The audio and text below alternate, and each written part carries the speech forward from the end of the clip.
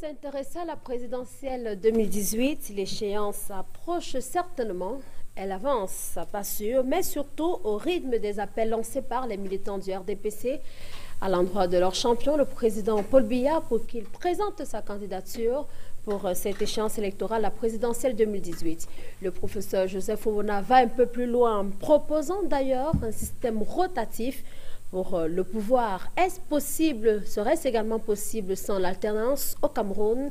La préoccupation nous intéresse dans cette édition de droit de réponse qui reviendra aussi sur les nombreux attentats encore enregistrés par le Cameroun. Le ministre de la Communication vient d'ailleurs d'établir un autre bilan l'espace de deux semaines. Plus de 70 personnes ont perdu la vie à l'extrême nord Cameroun. C'est sans compter avec l'incendie de la force multinationale. On parle également de ce mouvement d'humeur enregistré au nord-ouest Cameroun. Nous allons donc nous intéresser à tout cela dans cette édition de droit de réponse qui va marquer un stop à l'international avec le procès de Laurent Gbagbo, l'ancien président de la Côte d'Ivoire et son allié, son ancien ministre de la Jeunesse, Charles Blé Goudé, qui ont tous plaidé non coupables devant la Cour pénale internationale. Madame, Monsieur, merci d'être au rendez-vous de droit de réponse et ce programme qui se propose de disséquer l'actualité telle que vue par la presse afin de susciter le débat ici. comme tous les dimanches d'ailleurs, des acteurs de la société civile, des journalistes et des hommes politiques se relaient sur ce plateau pour tenter de nous faire comprendre, de nous faire savoir ce que la presse, elle, n'aurait pas vu. Merci donc à vous d'être au rendez-vous. Dans un instant, on fera connaissance avec nos invités, ceux qui ont accepté de partager ce moment de réflexion et de débat avec nous. D'abord, un tour dans les kiosques pour savoir comment la presse a traité de ces différents sujets d'actualité. Flavien Vallon-Dongo, bonjour. Sandrine, bonjour et bonjour à nos panélistes. Merci d'être avec nous ce dimanche encore. On va beaucoup s'intéresser à la politique au cours de cette édition de Droit de réponse. Bien entendu, alors on devrait déjà le dire, l'odeur de la présidentielle de 2018 se répand partout. On le constate d'ailleurs avec ce que la presse nous propose depuis le début de la semaine dernière et même bien avant. Cette semaine encore, la presse euh, rend compte donc des différentes motions de soutien euh, qui ont euh, inondé quelques localités avec notamment ce que les rédacteurs de ces différents articles ont pu relever. La météo, par exemple, qui fait parler, qui fait partie donc de ces différents journaux-là, nous apprend que les militants de la Mefouya Famba veulent toujours et encore voir le chef de l'État briguer le prochain mandat. Cet engagement a été pris au cours d'un meeting de, réconciliation des militants organisé euh, par Luc Magloua Mbargatana à son domicile. C'était le 26 janvier dernier à Yaoundé. sur la question, le quotidien La Nouvelle Expression relève que le RDPC et les autorités administratives se trahissent finalement. Selon le journal, les militants du Vouri sont allés remettre l'appel à la candidature de Paul Biya à leur camarade du parti qui n'est autre que le gouverneur de la région du littoral. Le patron de la région, visiblement satisfait de jouer ce jeu, euh, semble, semble ignorer son rang qu'il occupe. Et notamment le rédacteur de l'article a bien fait de rappeler que le gouverneur, qui euh, reçoit d'ailleurs les motions de soutien uniquement du RDPC, invitant Paul Biya à se présenter à l'élection présidentielle de 2018, oublie qu'il est donc apolitique et qu'il représente l'administration. Par conséquent, il, a obligation de garder une stricte neutralité à l'égard donc de toutes les formations politiques. Le billet hebdomadaire Ouest Littoral, qui parle aussi de, de prochaine présidentielle, se demande si nous sommes dans un pays des élections anticipées ou encore euh, retardées. Le journal lui-même ne répond pas à cette question, mais ouvre quand même le débat en s'appuyant notamment sur les différentes motions de soutien des lettres d'amour à l'endroit de l'homme du 6 novembre 1982 pour lui demander de s'éterniser au pouvoir. Pleuve, continue de pleuvoir notamment.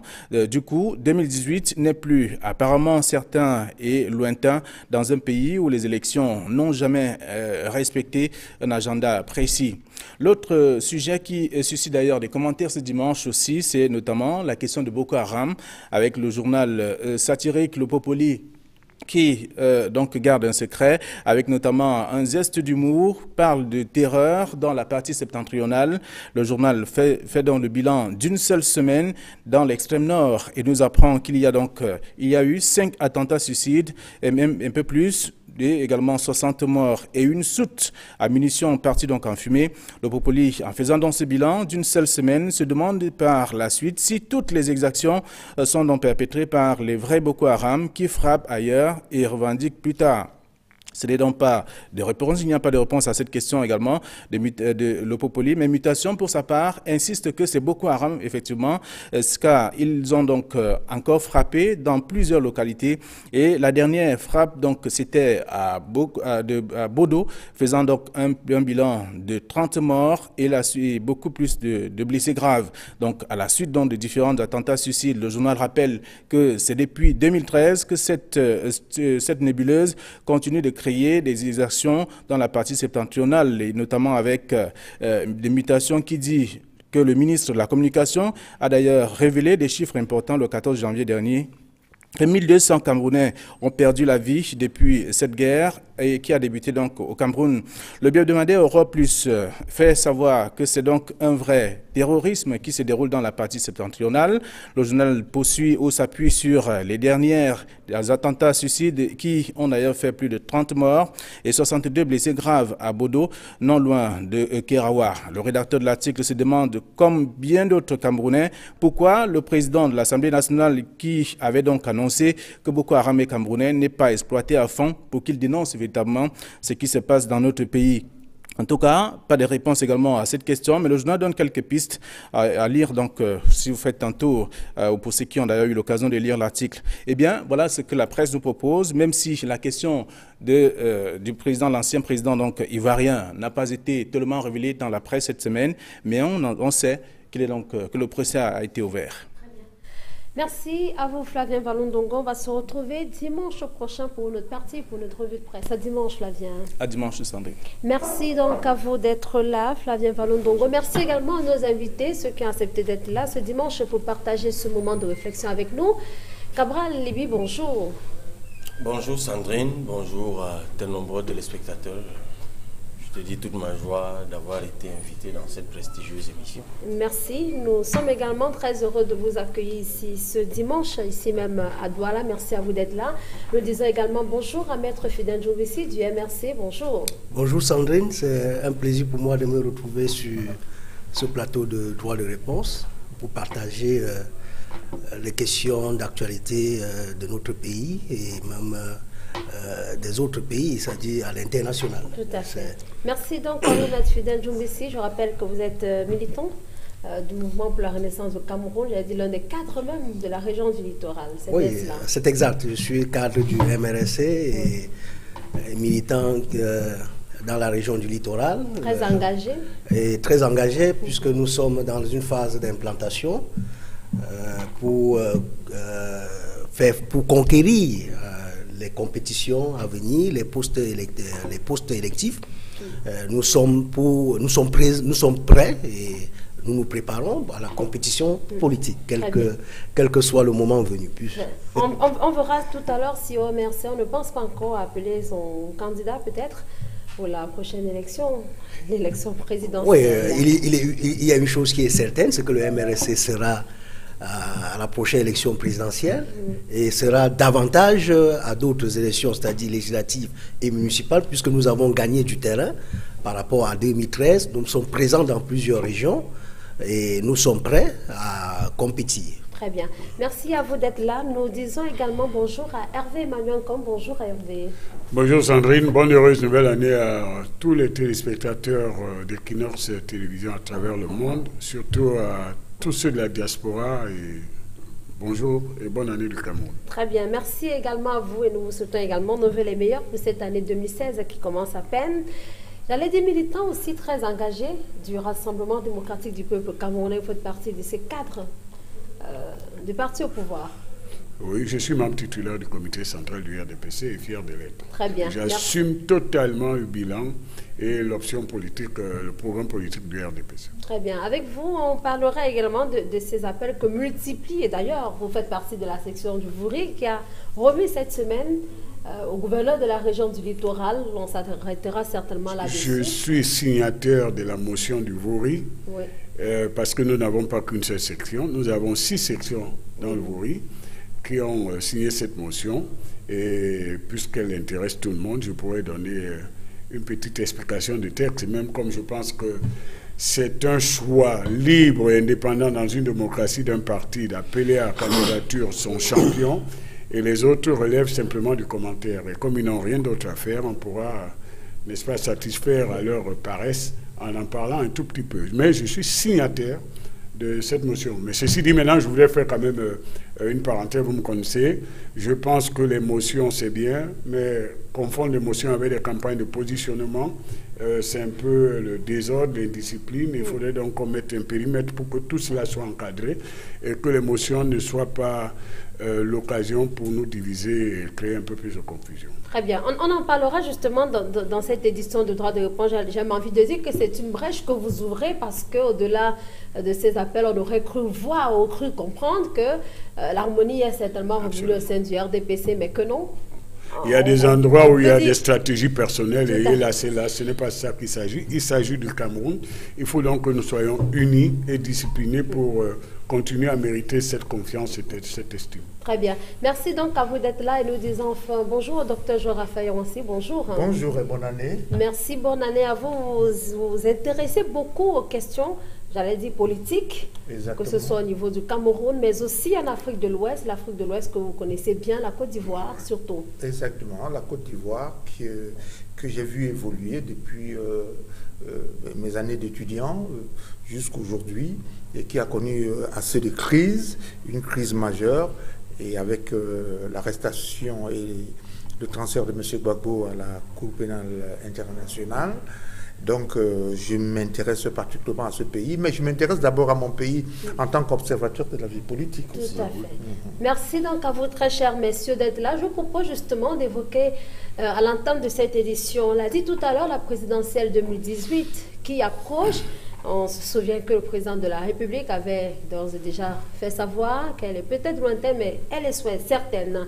Alors, Cabral Libyan peut dire que la, presse fixe de plus en plus le cap. Elle a en, ligne de mire euh, la présidentielle 2018. Elle évoque aussi des manœuvres qui seraient perpétrées par certains, notamment au sein du RDPC.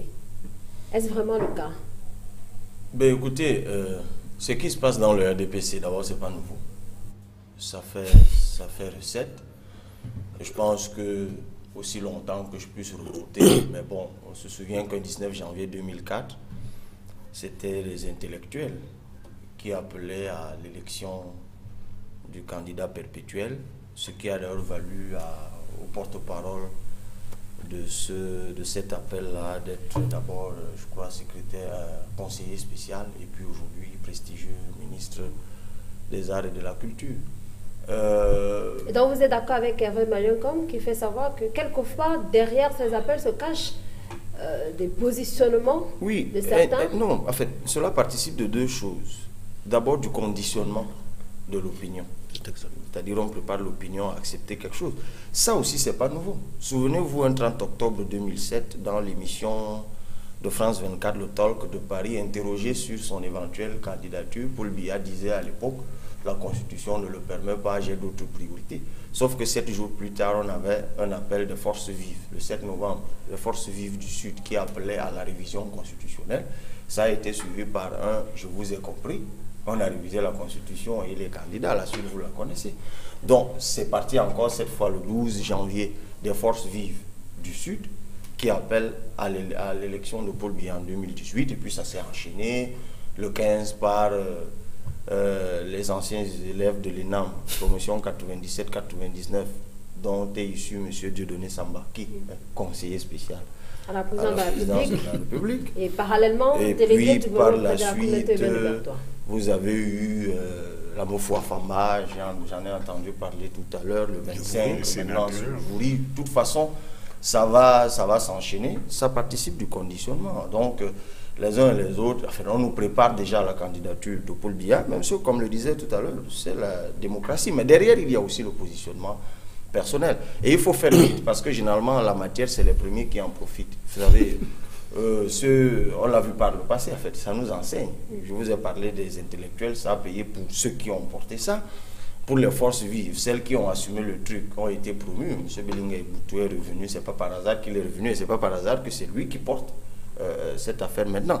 Maintenant, ceux qui vont le faire après 5 jours, 7 jours, 8 jours, 10 jours, ça va plus beaucoup porter. De toute façon, Ils ont bien compris au sein du RDPC quelle était la faiblesse de Paul Biya. Si vous travaillez à consolider son pouvoir, vous êtes bien vu par lui. Évidemment, si vous faites le contraire, vous savez vous allez vous retrouver. Donc, euh, quand on a fait 33 ans au pouvoir, on devient facilement lisible. Mais comme je le dis, c'est la démocratie. Comme l'a dit tout à l'heure, ceux, qui le disent sont tout à fait dans leur droit. Vous savez, même les aplaventrismes participent du débat politique. En revanche, ceux qui sont contre la réélection de Paul Biya, qui n'en veulent pas, comme les enfants du Sud profond, un appel dont on parle peu.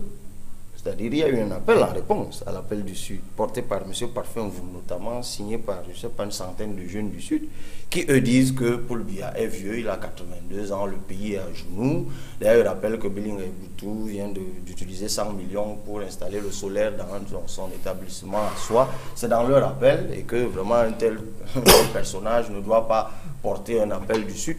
Donc, ils disent clairement à leur grand-père, père, frère et oncle euh, que ce sont du Sud profond. Et eux-mêmes, ils disent là-dedans, le Sud, dont les villages n'ont pas l'eau, l'électricité, le Sud, du chômage et tout.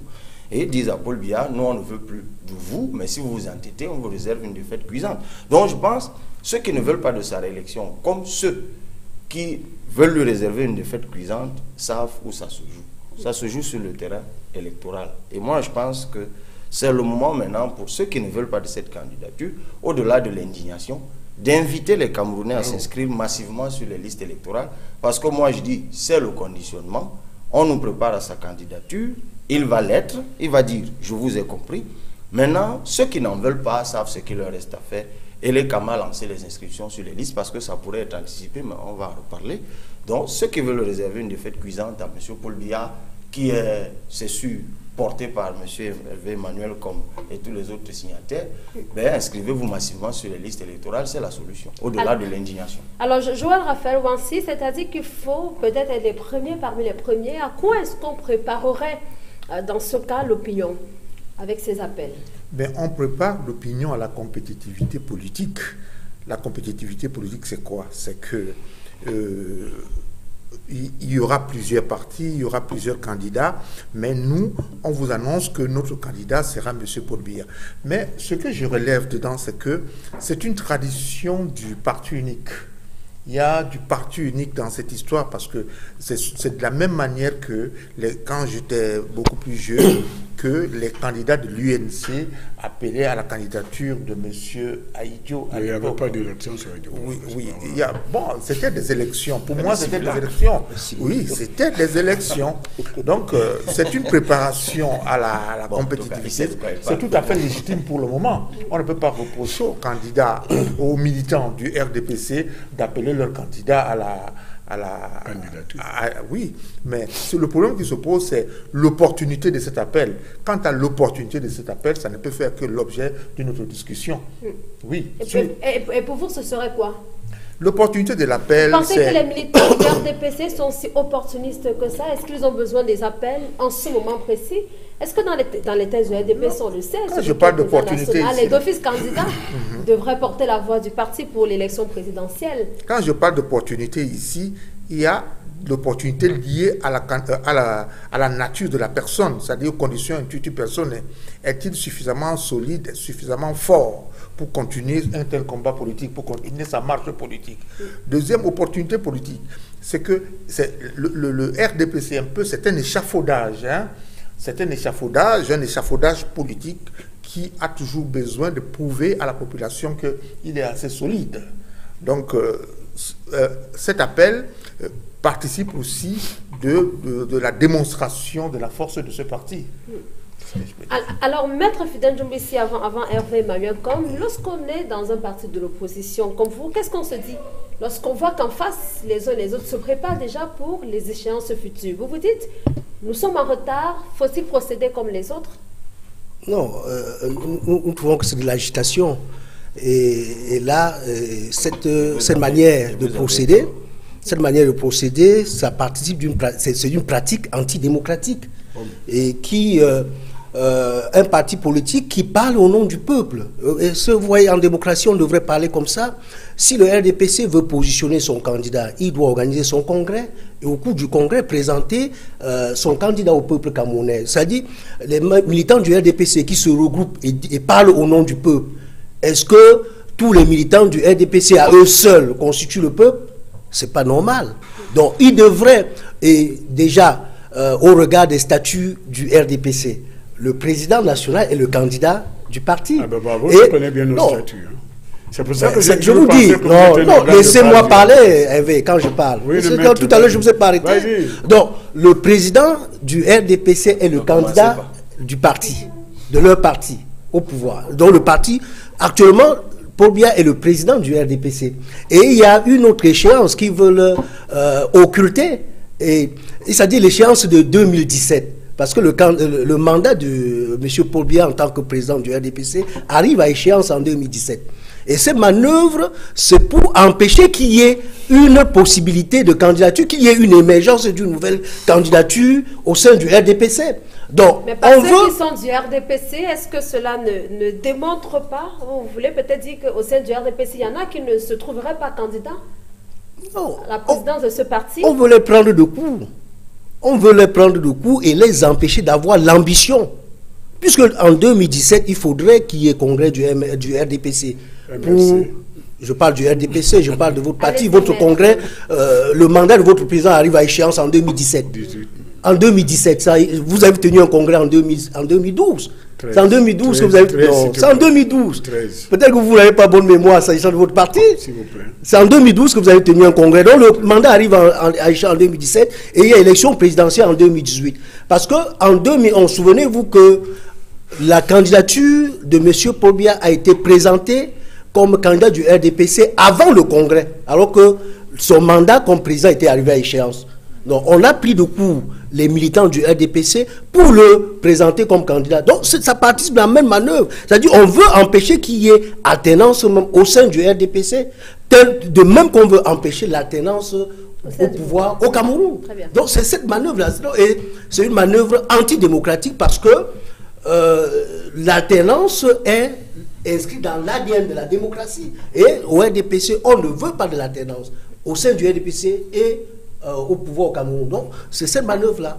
Très bien. Alors, Hervé Magnon, comment est-ce que vous voyez les choses de la même manière Au sein du RDPC même, euh, lorsqu'on présente le sait, on l'a dit, hein, les, les, tests sont clairs là-dessus. Le président national du parti est d'office le candidat du parti euh, lors de la présidentielle. Alors, est-ce qu'au sein du RDPC, on ne verrait pas les choses autrement?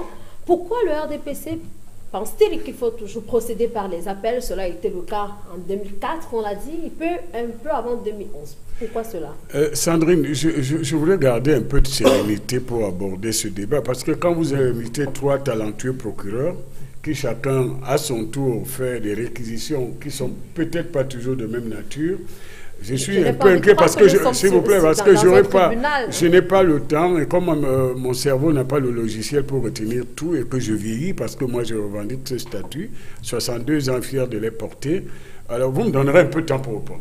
Il y a deux aspects, il y a même trois. Il y a un aspect d'analyse des personnes indépendantes du RDPC, à savoir euh, Dr Cabral et Dr Wansi, qui prennent position en tant qu'analystes, ils sont libres de même de se tromper. Euh, bon, et, ça, en démocratie et dans une république, on ne peut pas interdire. Et il y a un aspect des gens qui ne sont pas membres de notre parti, qui sont plutôt nos adversaires, et qui n'ont de temps de travail que de nous dire ce que nous devions faire, alors que c'est nous qui avons le pouvoir. Euh, s'il vous plaît, maître, euh, soufflez de m'écouter. ces gens se transforment en militants indisciplinés du RDPC et commandent la vie du RDPC dont ils n'ont pas souvent la maîtrise. Alors, je veux donc être télégraphique, mais Donnez-moi deux minutes pour vous expliquer deux choses. Premièrement, sur le plan strictement de l'histoire de la science politique, la pétition, l'appel date depuis Rome. Les intellectuels qui sont ici le savent, on s'exprimait à travers les pétitions à Rome. Ce n'est pas une invention du RDPC, même si c'est parfois instrumentalisé d'une façon parfois regrettable. Et, ce n'est pas de très bon niveau parfois et désordonné, mais c'est une tradition qui date, n'est-ce pas, du Parlement romain et athénien. À Périclès, on s'exprimait à travers les pétitions et l'appel. Donc le RDPC n'invente pas. Deuxièmement, je voudrais, et là, euh, cette réponse concerne aussi mon excellent ami maître euh, qui est un bon avocat, mais je crois qu'il est un mauvais polémiste. Il ne se souvient pas que le RDPC sort d'une période de renouvellement de nos organes de base. Nous les avons renouvelés pendant que les autres dormaient et euh, passaient leur temps à commenter plus des événements à l'intérieur de notre mouvement, c'est-à-dire du renouvellement des organes de base, au lieu de se, de se structurer aussi pour préparer les échanges qui vont arriver. Nous avons terminé triomphalement, d'une façon euh, dynamique, ces renouvellements, même si ici et là il y a eu quelques problèmes, mais là où il y a des hommes, il y a des problèmes. Mais globalement, nous avons fait ce qu'aucun autre parti politique au Cameroun a fait, c'est-à-dire renouveler, renouveler nos organes par un système de suffrage universel. Quand je l'ai dit, c'est pour dire Mais quoi? ça existe les renouvellements dans d'autres partis politiques. Ça existe aussi. euh, Même au MRS, Madame on l'a fait. Sandrine, euh, euh, euh, je vous ai dit tout à l'heure que si vous, ne, si, si, si vous rentrez dans euh, euh, l'ambiance actuelle qui consiste à ne pas laisser parler des gens qui sont concernés, vous allez On, parler... on- on vous laisse parler. Oui, mais attendez, ils sont trois à avoir exprimé, vous ne les avez pas interrompus, surtout quand ici parle. Quand je dis et j'ai autorité pour parler au nom du RDPC, vous m'interrompez. Allez-y donc. Voilà, si droit de réponse, c'est droit d'écouter, alors je peux vous écouter de Nous la maison vous écoutons, et je ne viendrai pas ici. Alors je dis qu'au terme des renouvellements, la, la prochaine étape, c'est que notre machine, notre organisation est prête maintenant pour tous les combats. Et le temps qui a l'air de se prendre, Maître Idouissé, ne se prend que ceux qui dorment. Nous sommes entrés dans le temps maintenant, avant l'élection majeure, la mère des élections, c'est l'élection présidentielle. Et légitimement, notre organisation souhaite, pour plusieurs raisons dont si on avait le temps, je reviendrai. Par exemple, on ne change pas un commandant en temps de guerre. Par exemple, c'est pas dans la tourmente qu'on change au capitaine de bateau. Par exemple, nous avons besoin d'être rassurés de la sagesse et tout. Par exemple, par exemple, nous avons mille raisons. Alors, nous sommes une organisation de droit dans ce pays un parti pas clandestin, et nous avons estimé, et c'est de la démocratie, que c'est le moment qui est arrivé de commencer à préparer la grande échéance des élections présidentielles et surtout à solliciter notre candidat naturel, comme M. Nouvicier l'a dit, pour que dans cette période, qui est une période tourmentée autour de nous, chez nous et en Afrique, nous ne courons aucun risque de changement, de prendre une aventure qui pourrait nous porter préjudice. Voilà la raison principale. Maintenant, quand on a fini de le dire, ça peut se faire, comme Maître Liby l'a talentueusement démontré tout à l'heure, là où il y a des hommes, il y a des ambitions, des opportunismes. Et quoi, on les assume. Mais ça devrait se faire peut-être mieux, c'est-à-dire avec euh, un parti qui encadre tout cela. Mais c'est de la liberté du RDPC de procéder. Je ne vois pas en quoi nous portons atteinte à la démocratie, simplement parce que dans la vie interne de notre parti, nous nous exprimons pour demander à notre champion naturel d'être, de prendre le, le devant pour nous conduire dans cette bataille, parce qu'il y va de l'intérêt du Cameroun. Alors, vous ne pouvez pas être notre adversaire et nous, de- et nous conseiller le choix que nous devons faire. C'est que vous voulez nous faire perdre les élections. Parlez Il est curieux de trouver. Et je ne parle pas. votre et congrès, je ne parle pas- Alors, je congrès. reviens, je reviens dans le cas du congrès. Maître Dubis, vous êtes, vous êtes sûrement un bon avocat, mais vous ne pouvez pas connaître le RDPC mieux que ses militants. Alors, ayez un peu. euh, Ne prenez pas trop de liberté avec la vérité. Et vous êtes téméraire dans ce sens. Notre congrès viendra naturellement confirmer la présidence ou pas de notre président national. Ce n'est pas de ça que nous, parlons. Et d'ailleurs, je profite pour cette parenthèse qui est très importante.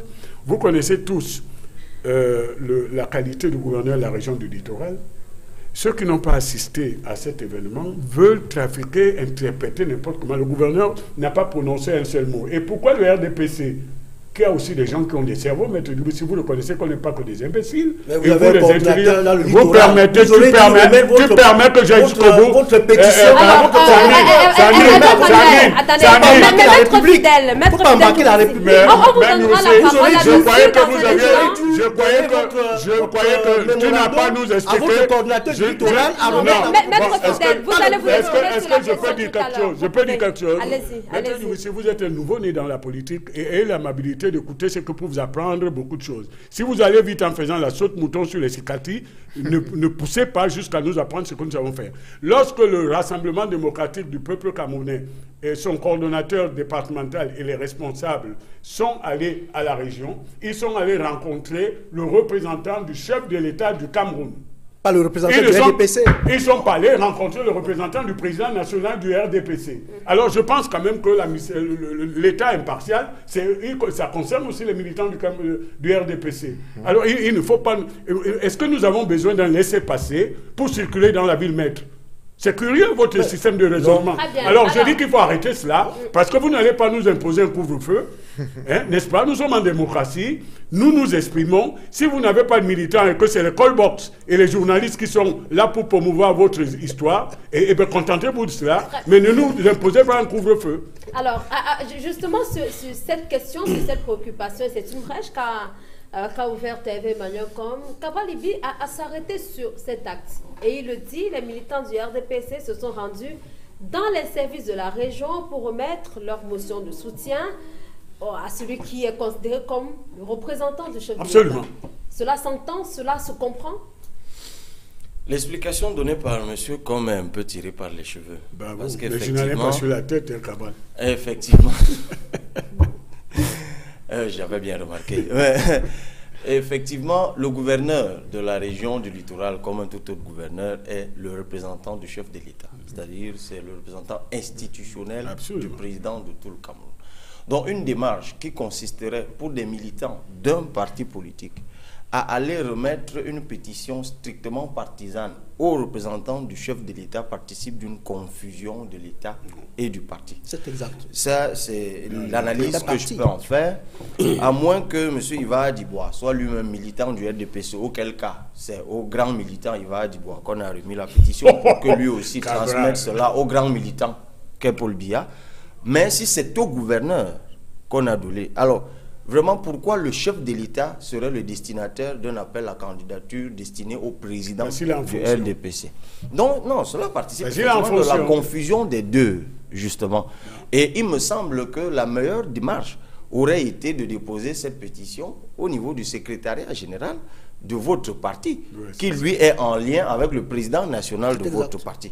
Bon, maintenant, libre à vous. Faites même les confusions se font en politique. Elles peuvent être de bonne loi ou de mauvaise loi. Moi, je dis simplement, je voulais réagir, si tu le permets, euh, au mutisme que moi j'observe. Parce qu'au-delà des cris d'indignation que je lis ici et là, et ma petite information me dit qu'il y aura des appels dès cette semaine euh, à la non-candidature. Ah, ça, c'est Limbi mais il n'est même plus militant du SDF. Là, vous, me donnez une, vous me donnez une information oui, de oui, plus. Il l'a dit sur une chaîne de télévision. Oui, mais là, vous me donnez une information de plus parce que ce n'est pas cette information que j'avais. Mais je pense qu'il y a beaucoup de segments, société civile et ailleurs, qui sont en train de se préparer, non seulement pour appeler à la non-candidature, mais surtout pour dire aux Camerounais, aux citoyens, s'il est candidat, eh ben, il faut lui infliger une défaite. Ah et ça aussi, ça aussi, c'est leur droit tout porte à croire que le long fleuve des appels ne sera pas tranquille pour l'échéance de 2018. Je crois que l'affaire est vécue différemment cette fois, moins passivement cette fois-ci, euh, avis à, ceux qui y travaillent. Mais ce qui m'étonne, Peut-être en raison du timing Oui, mais justement, le timing, c'est quoi? La, la, vraie question aujourd'hui, c'est qu'est-ce qui fait courir? Parce que c'est quand même l'élection présidentielle, constitutionnellement, c'est dans environ 30 mois. Oui, c'est exact. Alors là, bon, vous me direz 2007, ils ont commencé exactement à ce moment-là pour réviser la Constitution. Mais pourquoi ça court Sauf, que ah. c'était pratiquement un an avant, nous sommes ah. pratiquement deux années avant. Deux avant. Oui, les appels de 2007 pour l'élection de 2011. Non, tu as prononcé un mot qui est, je crois, j'espère qu'on aura le temps qui est pertinent. Réviser la... La Constitution, oui, on en parle tout à l'heure. Moi, je pense que si les gens, euh, certains militants du RDPC se montrent si pressés, c'est que euh, je pense que euh, l'éventualité d'une alternance est redoutée par certains comme la peste. Donc il vaut mieux que le candidat dit naturel. Mais en réalité, les textes du RDPC auxquels je me suis souvent intéressé ne contiennent pas le vocable ou les vocables candidat naturel. C'est bien dit que le président national est candidat euh, à l'élection présidentielle. C'est ce, que ça veut dire naturel. D'ailleurs, ce qu'on dit, les universitaires nous perdent souvent dans les Ce qu'on dit rarement, c'est que le RDPC n'a pas que les statuts. Il y a un règlement intérieur. Et que le règlement intérieur du RDPC prévoit bien les primaires de façon claire. Ça, on ne le dit pas suffisamment. Mais on les a vécus. Mais bon, c'est maintenant libre à eux, à l'interne, d'ignorer certains textes et d'en parler. Tu n'es pas militant du RDPC. non, en tant qu'analyste, je m'intéresse, je m'intéresse à tout. Donc, alors, je voulais également préciser. Moi, ce qui, moi, m'étonne, c'est le mutisme des partis d'opposition. Et quand je dis mutisme, je parle de leur leader ou alors de leurs militants. Parce qu'on est en démocratie. Et il faut brouiller, il y a des façons de brouiller un signal. Ce qui vient du RDPC, c'est un signal. Ils veulent que leur candidat soit président. Il faut brouiller ce signal. Et pour le brouiller, il y a des mécanismes qui existent. Moi, je suis quand même étonné qu'il n'y ait toujours pas eu une publication claire. Peut-être un appel, ou ça pourrait s'appeler autrement, du MRC par exemple. Non pas forcément de Maurice Kamto, qui pourrait prétendre que bon, lui, président, ne répondrait pas à des militants, puisque ce n'est pas pour lui qui a parlé. Mais je pense que les membres de son comité central et autres pourraient réagir. Je ne comprends toujours pas pourquoi on en est même aujourd'hui. Vous avez des initiatives aujourd'hui qui viennent des partis politiques, mais à titre indépendant. Un peu comme il parlait de Limbi Lobet tout à l'heure. C'est-à-dire que vous avez des militants indépendants dans certaines formations politiques qui, eux, préfèrent prendre les devants. Pourquoi le SDF, aujourd'hui, autour de M. Joshua aussi et autres, ne s'organise pas pour non seulement dire au peuple camerounais, écoutez, nous, on est contre cette euh, candidature, ou alors, puisqu'ils ont ouvert les hostilités, sachez que nous aussi, notre Frundi sera candidat à l'élection. Mm-hmm. Il y va du SDF, comme de l'UNDP, comme du MRC. Alors, d'aucuns disent que c'est un mutisme de mépris. Bon, ah. ils se disent, bon, c'est une agitation, on n'en a rien à foutre, mais en même temps, c'est paradoxal quand on voit le ton avec lequel c'est dit. D'autres disent que euh, c'est un mutisme complice. Comme quoi, euh, bon, ils sont silencieux parce que de toute façon, ça les arrange que Paul Biya soit toujours président. Mais dans un cas, comme dans l'autre affaire, cela est vrai quand même, je crois, au moins pour le SDF. Donc, notamment pour John Fundi. Mais je pense que en tout état de cause, aujourd'hui, je sais que ça va me valoir des foudres, mais je sais qu'en tout état de cause, il faut vraiment, moi, c'est ma posture à moi. C'est que moi, moi, ma position est connue, mon attachement à l'alternance est connu parce que je pense que la charte africaine de la démocratie des élections et de la gouvernance qui a été ratifiée par le Cameroun le 15 février 2010. Ça, c'est du vocabulaire Oui, mais fait du, de l'alternance un prédicat de la démocratie standardisée en Afrique. Donc, moi, je suis très attaché. Je suis très attaché à l'alternance. Je suis très attaché à l'alternance, monsieur Com. Et moi, tout ce que je peux dire à ceux qui commencent sont attachés à l'alternance, c'est que, nonobstant cet art, ce n'est que cette voie-là qui existe. Et je reste convaincu que s'il est vrai qu'au Cameroun, 70% de la population sont véritablement âgés de 15 à 45 ans, je pense que cette frange-là, si elle s'inscrit massivement sur les listes électorales, c'est elle qui aura le dernier mot sur ce que Maître appelait tout à l'heure les agitations. Et, donc, Maître Fidel Doumessi, c'est tout ce qui vous reste à faire. Rappeler vos militants, les Camerounais, aller se faire inscrire sur les listes électorales, laissant les militants du RDPC aller même dans les, dans les services administratifs, déposer leur motion de soutien. Que font les partis de l'opposition? Non, euh, ce qui nous préoccupe le plus, c'est les élections libres et transparentes. Et, et, ce que le RDPC est en train de faire, c'est une manœuvre, c'est une manipulation, c'est de la diversion. C'est de la diversion parce que... Non, Hervé, laisse-moi parler. Donc c'est de la diversion parce que le RDPC fait tout maintenant en fonction du MRSC. Parce que le RDPC sait que le MRSC est entré en campagne pour la révision du code électoral. vous dites exactement? MRC ah ou MRSC Moi, je parle de MRSC, ah, pas de ah, ok. Parce que mouvement pour la MRSC. Ah, non, mouvement pour la renaissance du Cameroun, porté par le professeur Maurice Kamto. Donc, pour l'instant, même s'il y a élection présidentielle le lendemain, parce que tout peut arriver, parce qu'il est prévu dans la Constitution qu'il peut avoir vacances. Et s'il y a vacances, MRSC, ça peut arriver. Il n'y aura pas. Comme ça peut arriver au MRSC. Donc, s'il y a élection présidentielle, le MRSC sera candidat. Mais ce qui nous préoccupe, c'est que les élections se déroulent dans les conditions normales, pour qu'il y ait transparence, que les élections soient libres. Et maintenant, nous sommes en campagne. le MRSC est entré en campagne. Sera candidat. Non, s'il y a élection demain, le, professeur Maurice Kamto sera candidat. Mais voilà un appel. Voilà un appel. le professeur Maurice Kamto sera candidat. C'est notre candidat. Est-ce que vous, au niveau du littoral, que vous appeliez voilà. Non, non. j'ai dit que c'est une pratique antidémocratique. Oh, Nous pouvons le faire dans le cadre d'une convention. Notre convention est prévue L'autre convention, la convention du MRSC est prévue en 2017. Le professeur Maurice Kamto a été porté à la tête du parti en 2012. Il a un mandat de 5 ans. Son mandat arrive à terme en 2017. Donc, et c'est notre candidat. Pour l'instant, c'est notre candidat. Si jamais pour l'instant, est anticipé, c'est ce qu'on si, Oui, si l'élection est anticipée, si l'élection alors le professeur Maurice Kamto serait candidat. il ne faut même pas parler d'élection anticipée parce que la, constitution, la constitution, ne, le permet pas. Le code électoral ne le permet pas. Mais, il peut avoir, il peut avoir une élection en cas de vacances. S'il y a vacances, on peut aller aux élections. En cas de révision. Même, même s'il y a révision du, de ah, la Constitution, ça ne peut pas permettre parce qu'il y a le principe de la non-rétroactivité de la loi. même si vous révisez la Constitution, vous ne pouvez pas immédiatement appliquer. Le peuple souverain, euh, à travers ses représentants, peut faire, mettre fin à une Constitution. pour... Nous voulons dire que c'est de la manœuvre de diversion parce qu'actuellement, le MRSC est en campagne. Pourquoi vous dites pas MRC comme nous disons tous oh. Je dis le MRC est en campagne. S'agit du MRC, du MRC. Allez-y. Nous sommes en campagne pour ah. réviser le code électoral. Vous nous interdisez d'aller en campagne aussi. Que pour qu'on ait des élections libres et transparentes. Parce que le code électoral actuel ne le permet pas. Ah, ah.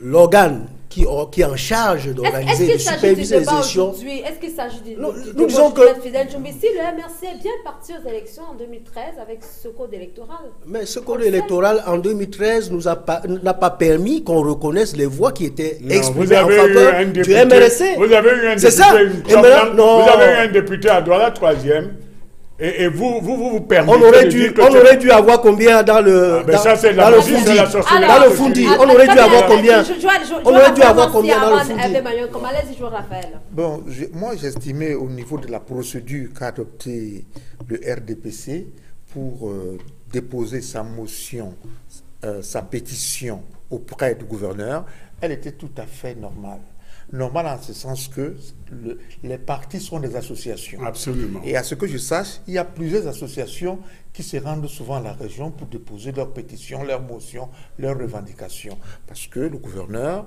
a une fonction outre sa fonction de police, il a aussi une fonction de représentation. Toutes les autres associations sont-elles politiques? Non. Mais celles qui sont politiques, qu'elles soient politiques, qu'elles soient sociales, qu'elles soient économiques, quel que soit le contenu qu'on y met, ce sont des associations. Vous, vous, savez pas quoi appelle système politique Le système.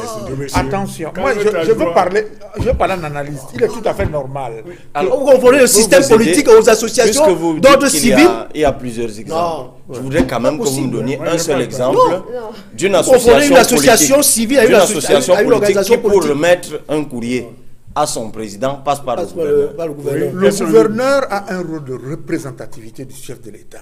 Oui, ça, normal. Le chef de l'État, même pas le président du RDPC. Pas du président de l'association. Pas le président du RDPC. Mais le, vous ne prenez pas les militants du RDPC pour des imbéciles que Ce sont des associations. Elles sont libres de se Vous avez bien remarqué un tout petit peu l'embarras du gouverneur de la région du Non, non, non, je, je, peux vous expliquer puisque j'étais en face Qu'une association adresse un courrier. Le, le gouverneur à une administration ou à une institution, d'accord. s'il te plaît. Mais qu'une association adresse son courrier à son propre président en passant par l'administration Monsieur Libi, Monsieur Libi, le parti État. Monsieur Libi, euh, Cabal, Cabal, vous avez l'habitude dans votre milieu d'intellectuels et de Sabitou de Yaoundé de nous faire dire ce qu'on n'a pas dit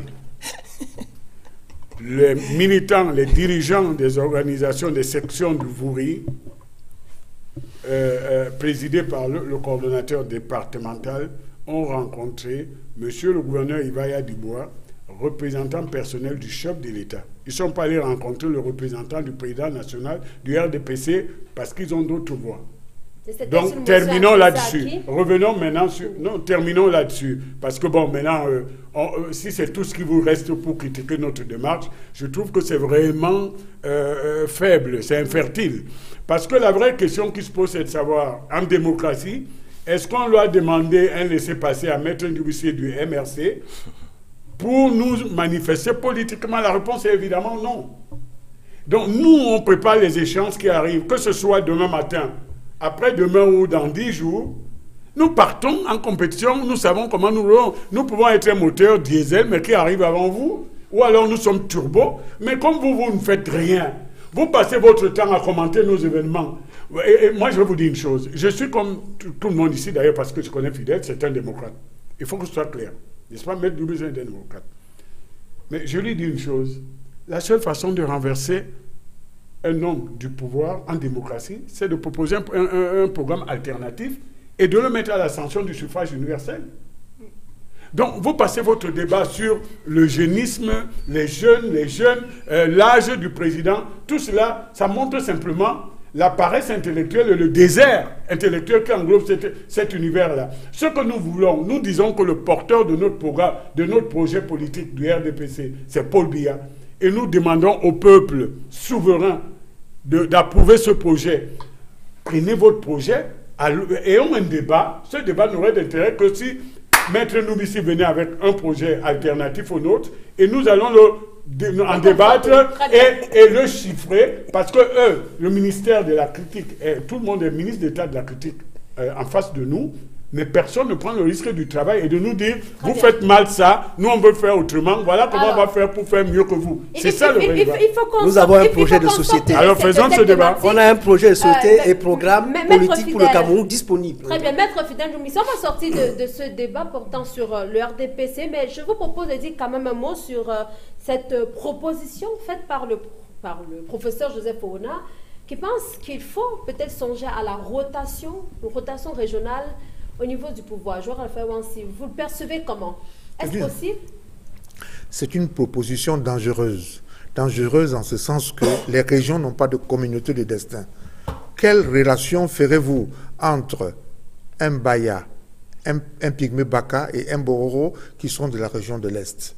Il ne faut pas. Je pense que c'est dans des pays où il y a des situations de crise très difficiles qu'on fait ce genre de proposition. Je crois qu'une proposition comme ça a déjà été invoquée et soulevée au Liban. Au Liban. Le Liban était, avait les moronites. Ouais, donc je pense que ce n'est pas de bonnes propositions. Lorsqu'on veut construire une nation, lorsqu'on veut rentrer dans le cheminement de la construction nationale, je crois que c'est très dangereux de dire ça. Mais, c'est une proposition, maître Fidel qui peut avoir le mérite de permettre de voir les uns et les autres, les capacités des uns et des autres, issus des, autres régions, à pouvoir diriger, à pouvoir porter le destin de toute une nation.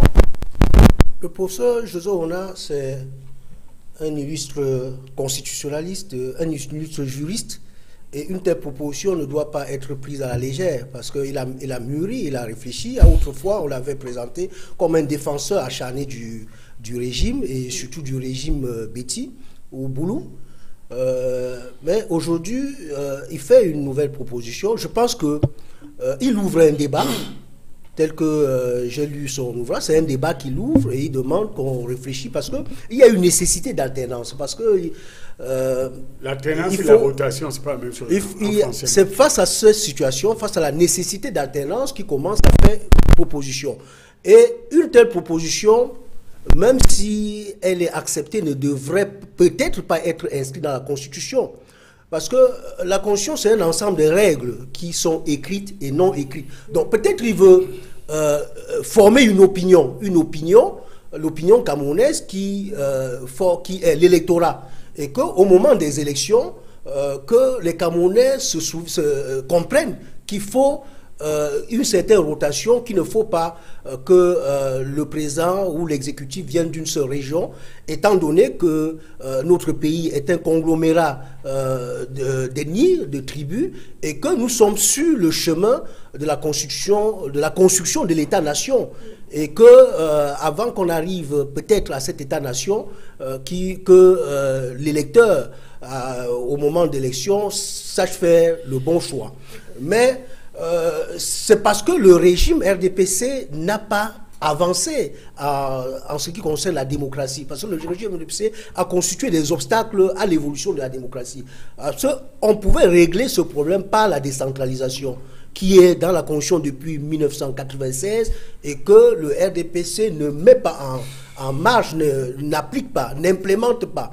Et euh, c'est une volonté de faire à ce que toutes les populations du Cameroun puissent participer à la gestion du pouvoir, à la gouvernance euh, locale. Et que euh, par, la par, la décentralisation au niveau local, on peut impliquer tout le monde et que les citoyens, dans leur immense majorité, se sentent concernés par la gestion du pays. Très bien. Donc, donc mais au mouvement pour la renaissance du Cameroun, au mouvement pour la naissance du Cameroun, notre position n'est pas celle du professeur.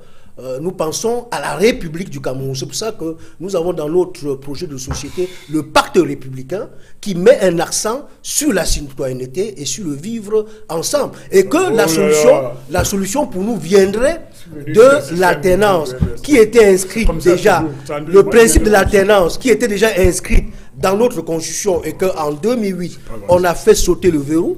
Si on n'avait pas fait sauter le verrou, le pouvoir euh, devait, ça dit, devait tourner. Il y aura certainement une alternance. Alternance, ça dit chaque après 5 ans. Donc chaque après 10 ans, il pouvait avoir possibilité que euh, des personnes venant de régions différentes puissent accéder au pouvoir. Donc pour nous, le, la, la, solution, c'est dans l'alternance qu'il faut inscrire dans la Constitution. Hervé Je suis fatigué parfois parce que je, pense que euh, les, les, universitaires camerounais, euh, ils font bien.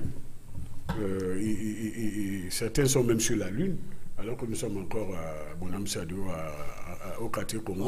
Mais, mais, je crois, je, crois qu'il faut, il faut un lien entre euh, les exigènes et puis euh, la réalité. Je voulais rappeler quelques, quelques faits seulement. D'abord, la notion de région est une notion administrative et qui anthropologiquement ne, coupe, ne recoupe aucune réalité.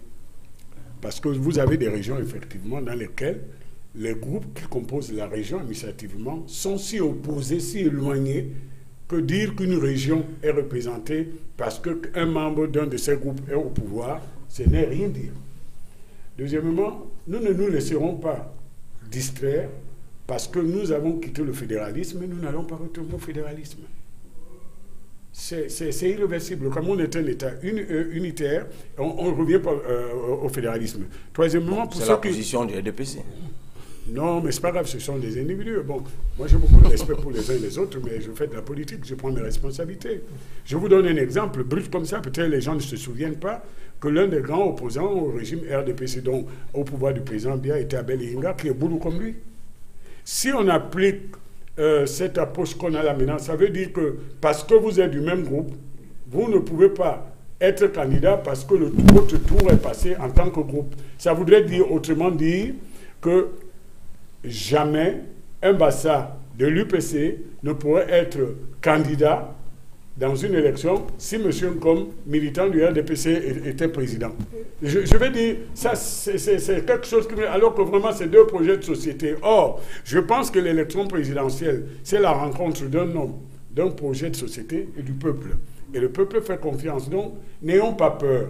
Nous sommes dans des étapes où, euh, bon, il y a des réflexes encore... Euh, euh, tribaux, il y a encore des souvenirs qui ne sont pas effacés, mais allons courageusement vers cette société où nous allons nous exprimer politiquement chacun comme individu et parfois à travers une organisation politique sans obliger les gens, stigmatiser les gens, à les estampiller en disant dès que vous dites Bassa, donc vous êtes upéciste. Moi, je ne suis pas upéciste, pourtant je suis fils du d'upéciste. Alors je réponds sur le fond en disant que pour moi, c'est une proposition, si on voulait regarder même l'exemple nigérian que j'ai entendu, c'est pas pareil. Ce sont deux grands partis qui veulent alterner et ce sont des blocs un peu cohérents. Vous avez les Yoruba, les Ibo, même si on les a divisés, les Aoussa, un peu au nord. Mais vous ne pouvez pas le faire au Cameroun avec ces 375 ethnies. Vous ne pouvez pas, dans ce fameux sud même que vous dites, le professeur Ouna est un de, de, c'est un Vok Tumbala, un prince Tumbala, qui est en Vengue, à côté de Kribi, qui n'a rien à voir avec un gars de Ndjou, parce que lui, c'est la migration vers le sel, l'océan, qui a amené son groupe Ewondo, qui se trouve, donc toute la famille se trouve en Vogada, en Vog, euh, et tout ça. Donc, je pense que c'est pour nourrir le débat. Mais pour revenir au débat, l'alternance ne veut pas dire la rotation, sauf si vous dites rotation entre partis. L'alternance, c'est le fait de choisir un projet de société différent d'un autre pour continuer à marcher. sur la question pour ça. Alors, je voudrais euh, faire précéder mon propos analytique de fond par quelques prolégomènes. Euh, c'est vrai, bon, pour un impétrant du droit, porter un jugement sur le travail d'un maître, c'est toujours périlleux. Mais je pense que euh, la première insuffisance de cet ouvrage que j'ai pu parcourir, c'est d'abord sa brièveté. Je pense que une analyse anthropologique de nos sociétés ne devrait pas se faire de façon aussi lapidaire. en tout cas, ça ne renseigne pas suffisamment dans un contexte où il y a effectivement une carence en la matière, où nous nous cherchons. lorsqu'un grand maître décide de faire un travail sur ce sujet, je pense qu'il pourrait prendre un peu plus de temps. Du coup, je me dis, peut-être qu'au sortir euh, des, problèmes du football, bon, peut-être le prof voulait absolument s'assurer que sa voix a toujours du retentissement, mais c'est fait. Je pense qu'il a la réponse. Quand il dit une chose, ben, ça porte, ça meuble les Et maintenant, pour revenir même au fond, véritablement, alors, lorsqu'on distingue euh, les sociétés anarcho-démocratiques des sociétés monarchico étatique. Bon, moi, ça me heurte. En fait. Dans, bon, peut-être parce que je suis Bassa, parce qu'on est dans la société anarcho, donc dans les démocraties anarchiques, les Bassa. je ne suis pas, sûr que la société Bassa été une société anarchique. déjà, sur ce point, je pense que c'est un, c'est une allusion qui, est, erratique. Sauf qu'effectivement, le propos n'est pas de lui. Le propos est d'un auteur français, Gonidec. Donc, effectivement, si nous faisons une analyse anthropologique de nous-mêmes en empruntant les schèmes analytiques des autres, nous nous engageons dans une aventure qui ne peut pas porter bien loin. C'est tout comme lorsqu'on parle de l'amida. Oui, mais le lamida, le lamida est un fruit de la conquête islamique. C'est pour ça d'ailleurs que ça n'existe que à partir de 1800-1804. Pourtant, les sociétés ont existé dans cette partie du pays longtemps avant que les islamistes. C'est pour ça que quand je suis allé euh, dans la bibliographie, j'ai désespérément cherché des ouvrages de Mbombok, Mbok Basson et autres qui ont fait des efforts considérables d'approfondissement euh, euh, ou de mise en relief de l'identité de l'identité de nos sociétés. Parce que le débat, il est là. il est idéologique. Et je rejoins M. Com. Mais dites-moi un peu, quand vous faites une analyse anthropologique et vous prenez comme repère des points cardinaux, si je n'étais pas de bonne éducation, je dirais que j'emploierais un gros mot. Le nord, le sud, ça ne veut rien dire. Ça ne veut rien dire. L'est, ouest, hein. ça ne veut rien dire. Nord-ouest, centre, ça ne veut strictement rien, dire. Ce sont des points cardinaux. Le soleil se lève à l'est et se couche à l'ouest, je crois. Ça ne veut rien dire. C'est tout à fait cela. Oui, mais quand vous dites que le centre, le centre c'est qui? C'est Bassa, c'est Eton, c'est Mbam et vous dites que vous allez faire une rotation donc, avec le centre, vous allez prendre qui là-dedans? Et je rejoins ce qu'il disait. Parce qu'il faut déjà, lorsqu'on parle, parce qu'il évoque les sociétés là, il évoque les bonbons, les, l'amidage, je le lui concède. Mais la rotation qui se faisait dans ces espaces, se faisait dans un espace homogène. C'est-à-dire lorsqu'il y avait une rotation dans la société Bamileke, il y avait rotation dans la société Bamileke. Mais pas une rotation qui partirait de la société Bamileke pour la société Peul, ensuite la société Mbala ou je ne sais quoi. Mbala. Donc c'est pour dire que même l'emploi du terme rotation, en, en juxtaposant des entités anthropologiques qui ne sont pas homogènes, donc hétérogènes, ça me paraît aussi un peu fantaisiste. Donc, moi, je dis encore, moi, je reste sur ma fin. Bon, c'est un ouvrage plutôt, je vous l'ai dit, c'est ça. Donc, ça n'a pas été très compliqué à lire. Je, je, vraiment, je présente mes excuses pour ce que je viens de dire, parce que je parle quand même du travail de maître. Mais je, dis quand même que, euh, euh, vraiment, pour le disciple un peu éveillé que je suis, lorsqu'on attire mon attention, lorsque le maître attire mon attention sur un travail de cette nature, parce que moi j'ai soif aujourd'hui. Le débat, il est là. On sait tous que les sociétés africaines, et c'est pour ça qu'il ne faut pas qu'on en parle comme ça en passant. Les sociétés africaines se sont inspirées de la nature. C'est pour ça qu'il y a même un débat aujourd'hui entre le positivisme et le juste naturalisme. L'Afrique, nous avons notre culture, inspirée de la nature. Les choses s'équilibrent. Le lion, il est là. Le lièvre, il est là. Oui, il mange le lièvre, mais ne décime pas euh, euh, la lignée des lièvres. Et quand je vois, il emploie le lignage là-dedans. Oui, mais les sociétés lignagières, c'est des sociétés qui ont un ancêtre commun. Et vous voulez aujourd'hui que lorsque nous allons à l'élection présidentielle, que l'on aille chercher des ancêtres communs où? Là-dedans. Là où on parle de projets politiques et tout le reste. Donc je rappelle que même en Europe, il y a eu des monarchies. Avant que la démocratie n'arrive, il a fallu, vous qui avez vécu en France, qu'on coupe la tête du roi en matin pour qu'on en arrive à la démocratie. Donc je pense que la démocratie, telle que l'Occident nous la propose, on peut y tirer, je pense que c'est ce que Nkwame Nkrumah disait, tirons de ça ce qui est attiré et euh, euh, réinventons peut-être, pas réinventer, remettons au goût du jour ce qui est notre identité anthropologique et c'est là qu'on attend les grands maîtres. Très bien. Alors, je vous propose à présent de... Parce que nous, les disciples, on ne peut pas le faire encore. De, ah, de, toutes les façons, le, débat reste totalement ouvert. Peut-on ou pas penser à, une élection, à des élections présidentielles de façon régionale au Cameroun? Il a ouvert une brèche et certainement au cours, euh, j'allais dire, de mois qui arrivent, avec les, échéances qui arrivent, on aura l'occasion d'en reparler. Pour le moment, je vous. C'est une proposition qui a le mérite d'avoir été faite. Ça, on est Tout comme les commentaires que nous faisons, nous avons le mérite on de a également le mérite d'exister. Alors, je, vous propose donc de, nous arrêter un temps soit peu sur l'actualité qui a trait au terrorisme, à la sécurité. Vraiment, excuse-moi, je ne le fais pas souvent.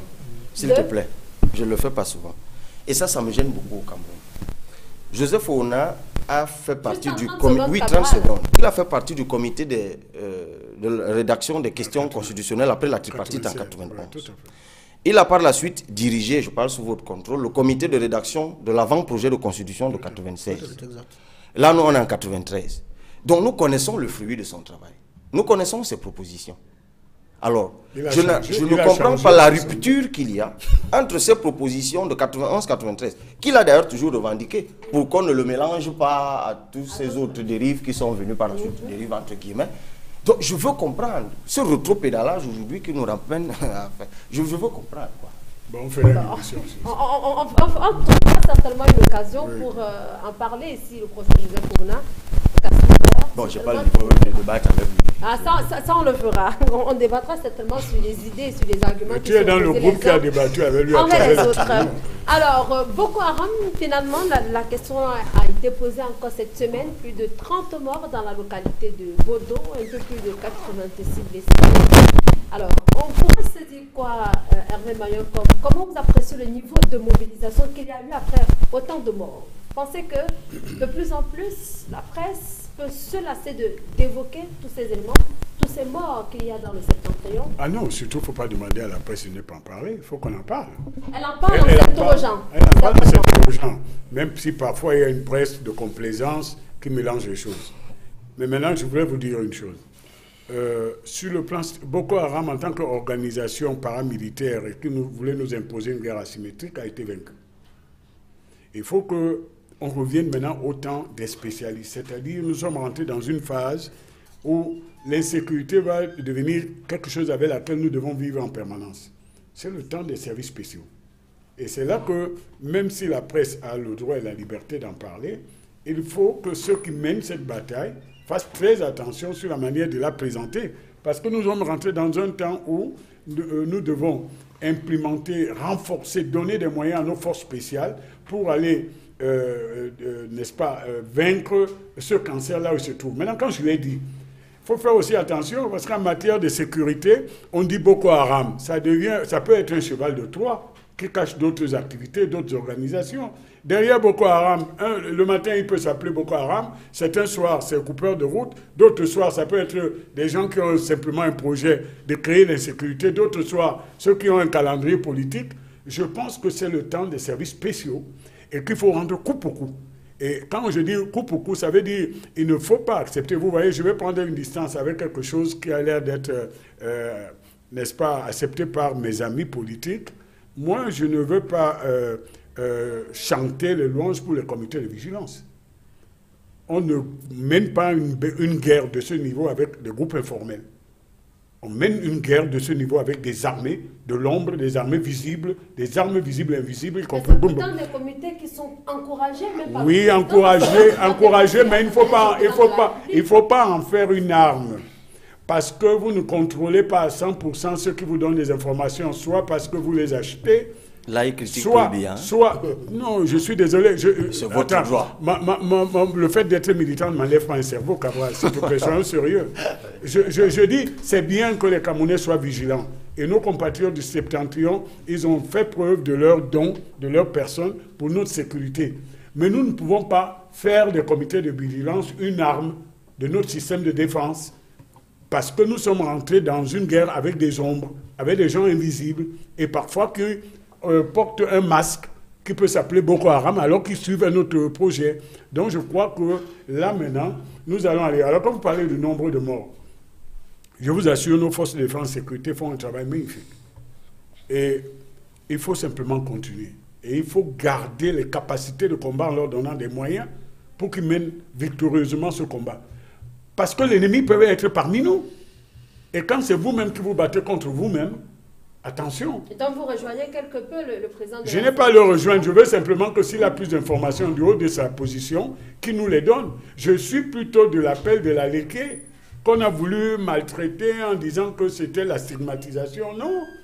Il n'y a pas, il faut la tolérance zéro. Et je pense donc que ce qui nous arrive, c'est que nous devons renforcer nos forces de défense. Nous avons des, forces spéciaux, euh, spéciales d'un talent incroyable. Regardez par exemple, les gars qui ont tué le commissaire euh, de police et, et, et qui était d'ailleurs du de, de, village de Mbouroukou, et, qui ont cru bon de fuir à ce réfugiés en Centrafrique. Je peux vous le dire aujourd'hui que ce sont nos forces spéciales qui sont allées les chercher là-bas, les ramener, parce que nous avions les capacités de le faire.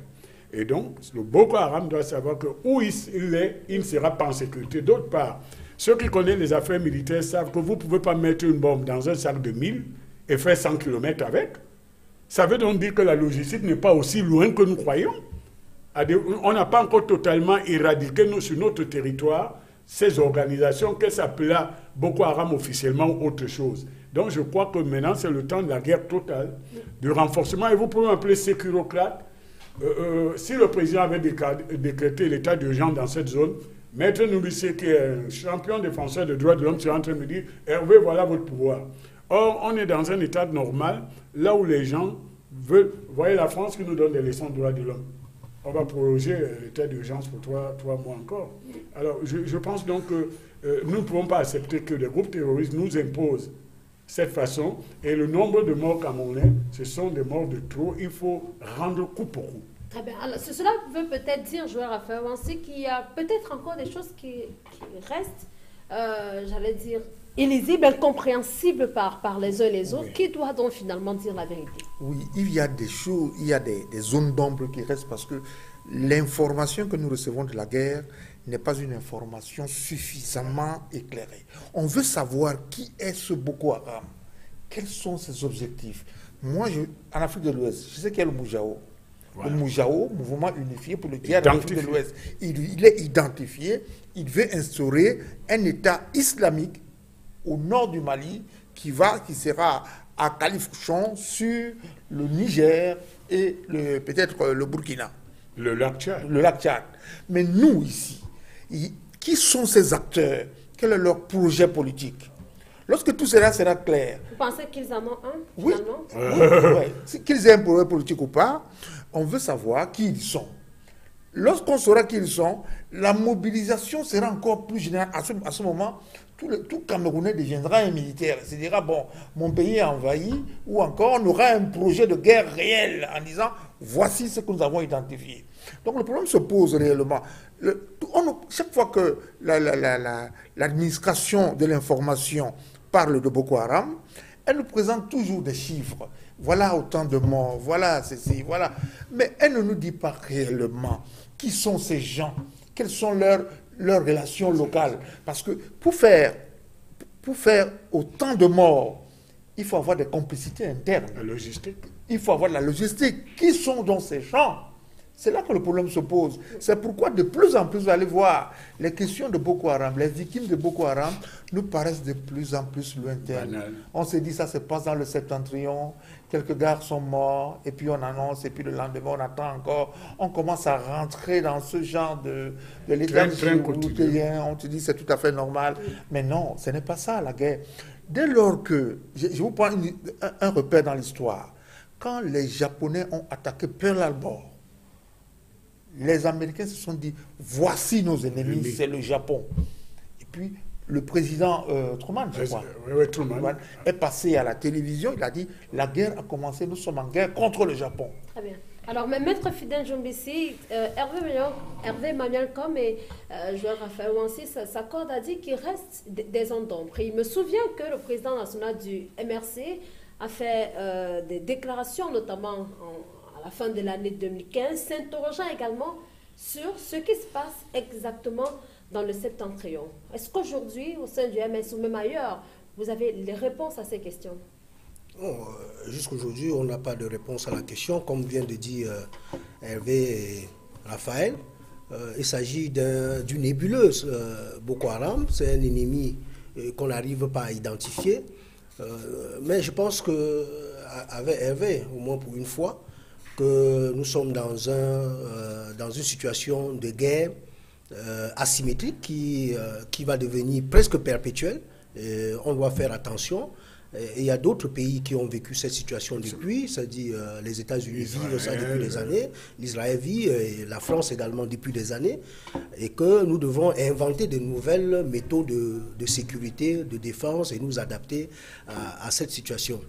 Donc, Euh, mais je suis également. Les comités de vigilance oui, il, faut, oui, je pense qu'il faut, il faut impliquer les comités de vigilance. Il faut la défense nationale, c'est-à-dire la défense populaire, et que même si elle ne doit pas être en avant, il faudrait que ce soit la force d'appui pour permettre pour que cette lutte soit efficace. Parce que euh, si elle a commencé à l'extrême, non, nous ne sommes pas euh, encore euh, sûrs si elle ne va pas arriver ici chez nous ou bien dans d'autres régions. du pays. chez nous. Hein, je dis dans notre région, je ne ah, dis pas, je dis chez nous, dans notre région. Au, sud du pays. Au sud du pays, non. Mais je ne voudrais pas dire que l'extrême nord est, une partie à part du pays. Ce sont nos frères. Nous avons des camarades MRC là-bas qui souffrent. Tel que les choses se passent en ce moment, et Maître Joël, j'allais de docteur Joël Raphaël Wansi le disait tout à l'heure, est-ce que, tel que cela se passe, les informations que les autres Camerounais ont du sud du pays, est-ce que cela ne contraste pas avec la situation qui est vécue par ceux du nord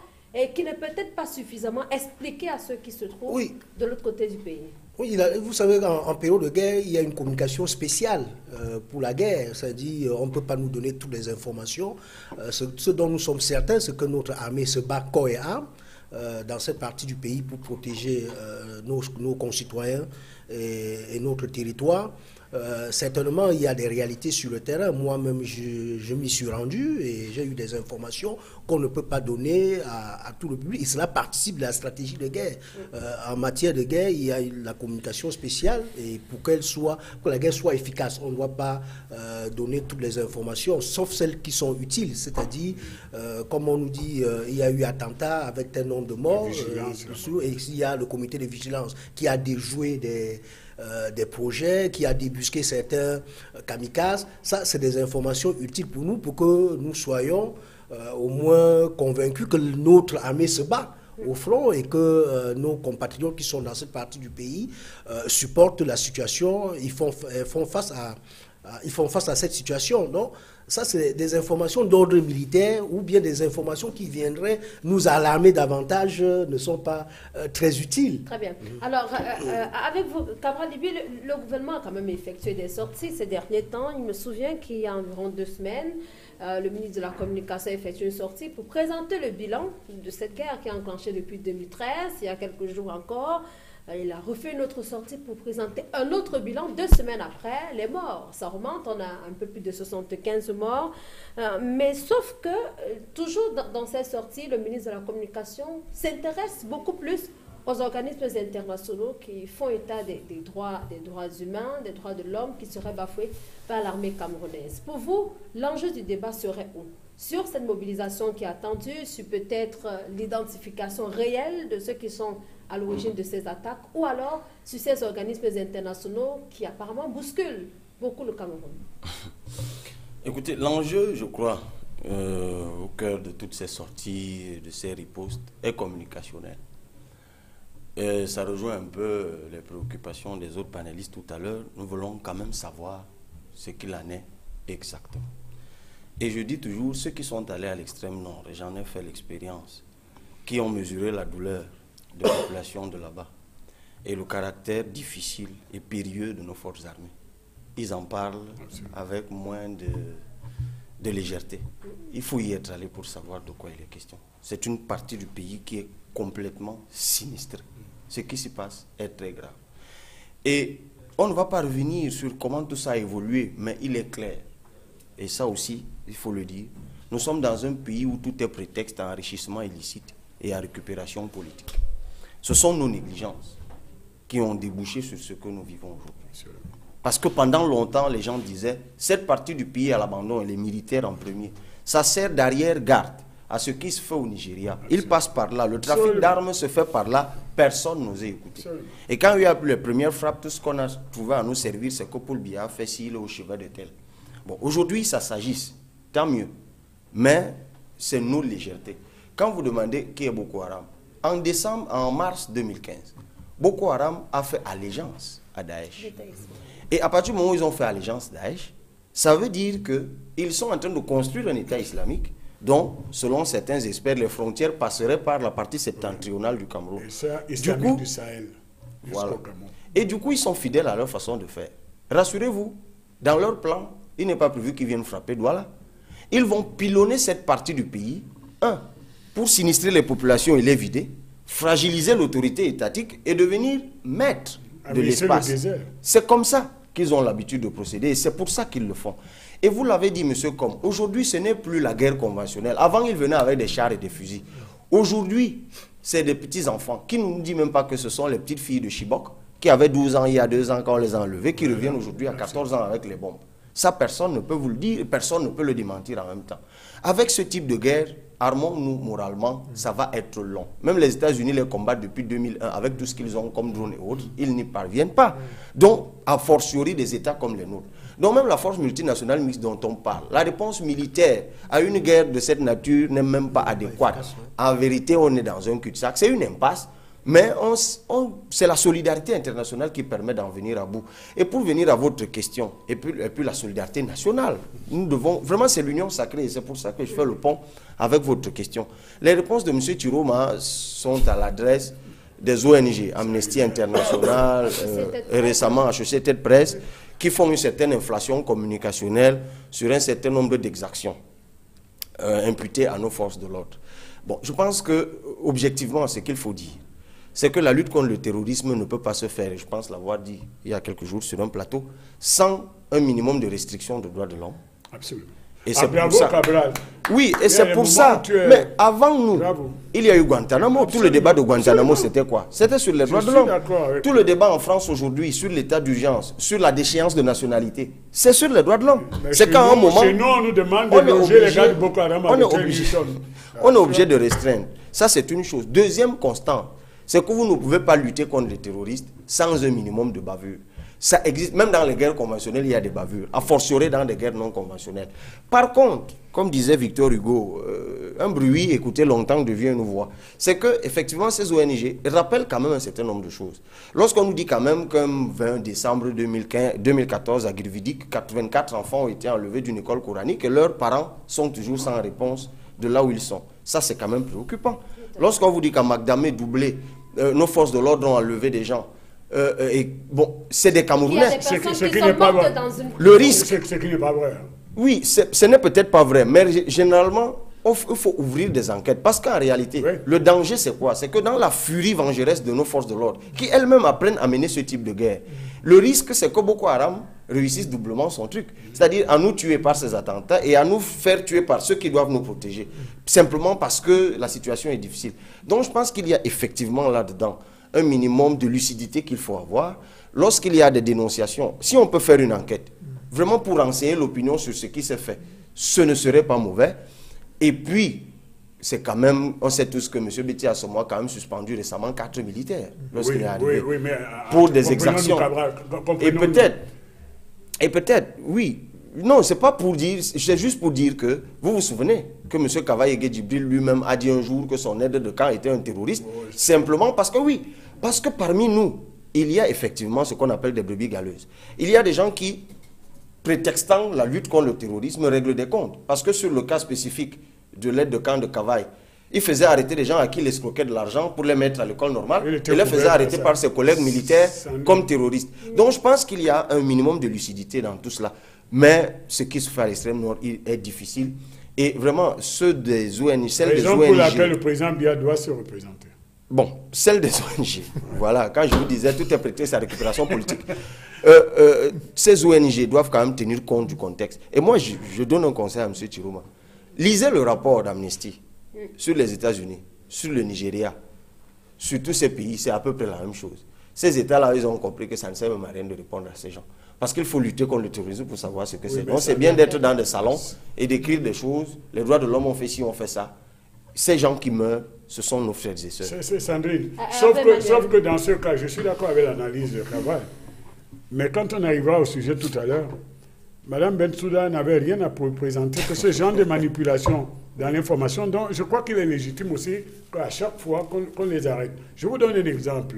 Euh, Sur ce point, vous avez raison. D'accord. On nous a montré les canons que Barbeau, ce qui n'est même pas prouvé, c'est tout ce qu'ils ont. On va en parler dans, alors, dans, je reviens, minute, hein, je, reviens sur le Cameroun. Vous voulez que les droits de l'homme, notre armée est entraînée pour respecter les droits de l'homme, mais nos forces spéciales aussi. Mais je vous donne un exemple. Je ne vais pas citer le, lieu, mais ce n'est pas loin de Photocol et d'autres villes célèbres là-bas pour ça. Kerawa. Kolofata. Eh bien, Sandrine, nos forces de l'ordre ont demandé qu'il y ait couvre-feu parce que c'est dans la nuit que ces gars-là utilisaient leur logistique pour faire déplacer les choses. Et sauf que, depuis nous avons envoyé des unités, par exemple comme les commandos de marine, qui patrouillent sur ce qui reste encore du lac Tchad. Or, je ne suis pas en train de dévoiler un secret, Cabral a commencé à l'expliquer, c'était des zones de trafic transfrontalier telles qu'on trafiquait tout. Et qu'est-ce qui s'est passé? La présence de nos commandos de marine dérangeait les trafics. Donc, ils sont venus détruire les bateaux de notre armée qui, euh, patrouillaient sur le lac en prétextant que notre armée est allée euh, faire euh, des primades, interdire aux gens de sortir et tout ça. Tout cela, ce sont des Camerounais. Et notre armée ne peut pas se battre à la fois contre un ennemi invisible et les propres siens. Donc quand on nous accuse, notre armée, de ne pas respecter les droits de l'homme, je suis désolé, je suis désolé, elle ne va pas s'exposer simplement pour faire plaisir à des organisations dont la plupart des rédacteurs de textes habitent dans les quartiers chics de, de, de, Douala ici. Quand on dit, par exemple, que euh, euh, euh, le commandant Zé, qu'on a relevé le commandement, n'a pas logé dans un hôtel 5 étoiles, des gars qui, aujourd'hui, on a la preuve que c'était bien, des gars du Boko Haram, mais attends, où on fait la guerre? Où on s'en va faire plaisir aux organisations qui ont bien leur rôle, mais qui peuvent nous fragiliser mortellement. Notre armée doit respecter le conseil militaire. Le gars qui a fait exploser une bombe dans un hôpital du Bir, c'est parce qu'on voulait aider quelqu'un qu'on croyait euh, un blessé, alors que c'était quelqu'un du Boko Haram et qui avait c'est une erreur de consigne qui peut entraîner la mort et on a eu des morts dans nos rangs. il ne faut plus l'accepter. Et donc, comme on l'a dit, il faut euh, davantage redoubler de vigilance. Absolument. Absolument. Et on va faire la guerre à ces gars. Et, seules des enquêtes bien menées permettent de dire si oui ou non ce que disent ces ONG est vrai ou pas. Tout à fait. On, se sera attendu d'ailleurs, certains ont dit que cela se passe comme ailleurs, qu'il y a euh, quand même une police des procureurs qui, qui, se chargent uniquement de, de ce dossier. Non, non, non, vous faites la guerre avec les procureurs dans vos rangs, mais Non, pas du tout. C'est non, on parle des enquêtes, des investigations judiciaires. Alors, pour sortir, pour sortir de, de, cette édition de droit de réponse, on va à l'international pour évoquer ce procès, que d'aucuns qualifient de procès feuble de euh, Laurent Gbagbo et de Charles Blégoudet, tous les deux qui ont plaidé non coupables. On ne se serait peut-être pas attendu, jouer à fin, ou à autre chose. Oui, on ne se serait pas attendu à autre chose. Ils sont accusés de crimes graves, crimes contre l'humanité. Je ne, suis, je ne peux pas, dans ma position de juriste, hein, je ne peux pas euh, dire que ils sont coupables, oui ou non. Je ne peux pas rentrer dans les polémiques ou bien dans les dossiers de l'instruction.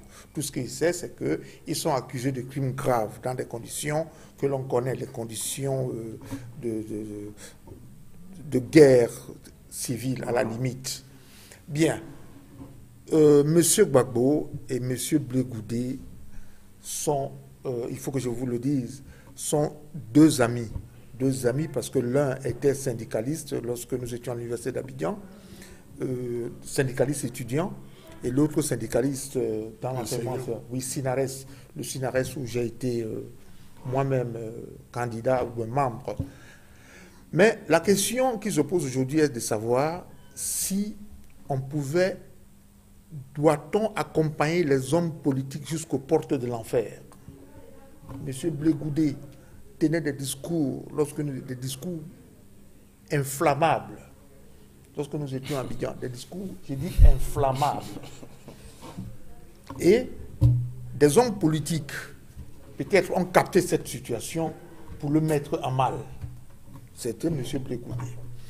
La question que les gens se posent, pourquoi au soir du 11 avril, à la fin des élections, M. Gbagbo, qui savait qu'il avait des milices qui ne contrôlaient plus, n'a pas accepté le verdict des urnes pour se constituer une opposition tout à fait normale. C'était un verdict des urnes C'était un verdict des urnes. C'est M. Gbagbo qui a fait venir, on ne va pas revenir sur les élections, c'est M. Gbagbo qui a, fait, qui a fait venir les Nations Unies pour donner une certification aux élections. Les Nations Unies n'ont pas forcé la porte de la Côte d'Ivoire. Je connais au Cameroun une élection qui a été certifiée par les Nations Unies en 1961. C'est l'élection du rattachement du Cameroun occidental au Cameroun oriental. Elle a été certifiée par M. Dagamachol. Oui, elle a été fraudée. Elle, a, elle a été, elle a été fraudée. On a perdu ce Cameroun septentrional. Mais tout à fait, je dis que cette élection a été certifiée. Dès lors que vous, vous demandez une certification, vous devez vous attendre à la réaction de de, de, de, la communauté internationale. Cela s'est fait aussi au Timor, où il y a une élection qui rattachait, qui, faisait, qui, qui parlait de l'indépendance. Et donc, et donc pour vous, peut-être sortir très très rapidement, je oui. aussi les, les enjeux qu'il y a maintenant avec ce procès qui s'est pratiquement ouvert. C'était attendu. Le procès pose polémique au Cameroun parce que au Cameroun, au Cameroun ou à au, je dis au Cameroun exclusivement. Pourquoi? Je vais vous l'expliquer.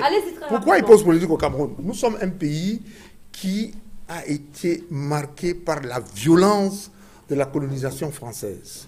Nous, nous avons encore des, des, problèmes, du moins des, des questions psychosomatiques à, à, purger. Chaque fois que un, un Africain est en difficulté quelque part et qui commence à stigmatiser la colonisation française, il est tout à fait normal que les Camerounais adhèrent. Vous comprenez? à, ce combat-là. À ce combat. J'étais au Sénégal, au Bénin. je, je, viens d'Addis on ne parle même pas de Babo, s'il vous plaît. Alors, euh, il faut qu'on aille très rapidement, nous sommes pratiquement à la fin des oui, Emmanuel. Je, suis à la fois euh, choqué, mais pas surpris des propos du docteur Wansi. Euh, parce que euh, euh, je crois qu'il faudrait d'abord ramener quel est l'enjeu de ce que nous vivons là. La première chose, c'est que nous n'allons pas refaire le film des élections. Tout le monde sait où se trouve la vérité, y compris les acteurs français dont tu cites qui reconnaissent aujourd'hui où se trouve la vérité. Je te renvoie à la lecture de la vérité. Deuxième chose, ce qui se passe c'est que nous n'acceptons pas. Écoutez, moi, avec le peu que je sache du droit, mais mon âge me permet d'avoir comparé les choses. Si c'est tout ce que l'accusation reproche à Babo et à Brégoudé que j'ai entendu, puisque l'accusation n'a plus la parole depuis jeudi, euh, vendredi. Si c'est tout, tout ça pour ça, tout ça pour ça. Le procès n'est pas fini. Mais non, non, non, attends, attends, attends. Ah, attends, fidèle. Attention. Je dis, on ouvre le feu d'un procès en mettant l'essentiel. On nous a montré les femmes d'Abobo, on nous a montré si tout ça pour ça. Attendez, parce que c'est réversible. Bon. Deuxièmement, il y a un principe. Mhm. Je pense que les Nations Unies se sont laissées entraîner dans la résolution d'un problème national ivoirien en prenant parti pour un camp et qui n'est pas d'une virginité totale. C'est en raison de mes responsabilités de membre d'un parti au pouvoir que je ne vais pas jusqu'au bout de ma pensée. Très bien. Donc, je, termine là-dessus en disant je ne peux pas accepter, comme président Laurent Babo, que je connais bien, personnellement, même Bleu Goudé, comme des monstres. Euh, cette situation est regrettable pour l'Afrique, mais est-ce que nous devons aller donner le spectacle où un ancien chef d'État est jugé comme un voyou? Alors qu'on sait très bien où se trouvent les voyous dans cette affaire. Très bien. Très, rapidement, Maître Fidel Djoumlissi. Oui, euh, sur, le plan procédural, je dirais qu'il n'y a, pas de commentaires à faire parce qu'un procès est ouvert. Euh, au risque de faire des commentaires tendancieux. Euh, nous allons observer l'évolution du, procès Tout à fait. Euh, sur le plan de la forme et sur le plan du fond. Sur le plan de la forme, il faudrait que les règles de procédure soient respectées. Et sur le plan du fond, il faudrait qu'on apporte la preuve de la culpabilité. Et lorsque la décision sera rendue, on commentera. On fera faire tous les commentaires et montrer si la décision est fondée. Donc, euh, peut-être sur le plan politique, bon, on peut se poser la question de l'opportunité euh, de juger un ancien président devant une juridiction internationale, mais alors qu'il y a eu Sabla et Chatila, il y a mais c'est aussi, c'est aussi, ça se justifie parce que euh, ah la Cour pénale internationale euh, est une juridiction subsidiaire qui ne statue que, qui ne statue que euh, lorsque qui n'est pas possible de juger dans l'État auquel appartient le prévenu ou bien l'accusé. Et au regard de la situation en Côte d'Ivoire, nous, nous pouvons penser qu'il était très difficile de, de juger Laurent Gbagbo. Et, on a jugé Simone Gbagbo, il n'y a pas eu la guerre. Alors, on, on, sort, on, sort, de ce sujet avec Cabral. Justement, tout à l'heure, on a parlé des, des enjeux. C'est vrai qu'on est au tout début du procès, mais la mobilisation, quand même, étonne. Et cela peut, on peut le dire, révéler qu'il y a encore des choses qui sont restées au-delà de la crise électorale de 2010-2011 en Côte mm. d'Ivoire. Non, la, la, mobilisation étonne normalement. J'ai envie de dire, c'est normal. Euh, on ne peut pas, dans une... Il y a eu commission de crimes graves. Ça, tout le monde le sait. Mais au moment de juger, on décide de juger d'abord une partie et on va juger l'autre partie après. Alors que la commission Conan Bani a fait des enquêtes sur les deux parties et les résultats sont connus. Oui, Bagbo a commis des crimes et il doit en répondre. Et d'ailleurs, s'il est à la CPI, c'est par sa propre volonté parce que c'est lui-même qui, le premier, avait reconnu la compétence de la CPI alors qu'il était encore chef d'État. Reconnaissance que l'autre est venu confirmer après lui. Et c'est ça le problème de l'Afrique. Ils sont les premiers à reconnaître, les, à ratifier ces, ces, juridictions, les statuts de ces juridictions. Et quand ils le font, parce qu'ils vont y envoyer d'autres. C'est comme ça que Mbemba est retrouvé, Joseph Kouni, euh, Tabanda et autres. Quand ça se referme sur eux, ils crient au scandale. Mais moi, je dis quand même que dans cette affaire, Ben Souda doit vraiment nous expliquer un matin comment ça se fait que dans une commission concomitante de crimes qu'on décide au moment de juger, depuis quand le droit juge, depuis quand le droit juge les camps? Ça, c'est quand même un précédent. Ou on juge les, les criminels, ou on les juge. Mais dans le jugement des criminels, quand on distingue déjà un camp d'un autre et qu'on décide de juger d'abord les criminels d'un camp avant de juger les criminels d'un autre. Pour les mêmes faits. Depuis que la justice internationale existe, depuis quand avez-vous vu qu'après que les vainqueurs aient jugé les vaincus, les vaincus sont venus juger les vainqueurs? C'est une histoire notion... C'est une, belle interrogation sur laquelle nous allons euh, d'ailleurs nous quitter. J'ai envie de dire au, docteur Jorafeu aussi que le temps est très très long pour mm. parler de ce procès qui mm. n'est qu'à son tout début. Mm. On a juste vu euh, ces, vidéos de, de l'accusation et autres. Attendu donc certainement euh, des déclarations de Charles Bégoudé et de, Laurent Babo qui vont certainement nous permettre de, revenir sur euh, ce procès. Oui, mais c'est l'Afrique qui est humiliée. C'est ça qui nous humilié. C'est le droit qui s'applique. C'est l'Afrique qui est humiliée. Depuis Nuremberg, il n'y a pas eu de procès comme ça et on n'a pas le droit d'humilier l'Afrique. Non, non, non. Milosevic, c'est pas un européen. Non, non, il faut laisser le droit s'appliquer. Merci donc à vous, très chers messieurs. Merci à vous, Joël Raphaël Merci également à Emmanuel Com. Merci d'avoir accepté cette invitation. Euh, nous vous remercions également d'être fidèles ici. Et Je vous en prie. Et merci. Rendez-vous aux élections. Et, merci également à vous, Cabral, Cabral Libé, pour euh, avoir effectué le déplacement. Merci également à vous, Madame, Monsieur, d'avoir été au rendez-vous de droit de réponse de ce dimanche. Merci de rester en compagnie de nos programmes. Je vous retrouve dimanche prochain. Si peut-être, bonne semaine à tous et à toutes.